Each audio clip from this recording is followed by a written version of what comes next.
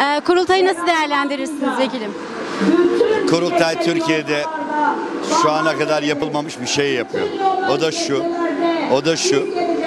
Ee, çarşaf liste dedikleri bütün delegelerin hatta delege olmayanların 53 imza ile aday olabildiği tam bir demokrasi şöleni. Genel başkan vesayetinden kurtulmuş, grupların vesayetinden kurtulmuş, gerçek anlamda partinin genel idare kurulunda temsil, teslim, temsil edilebileceği gerçek bir kurultay oluyor. O yüzden bu demokrasi şölenine tanık olduğu için Türkiye çok şanslı.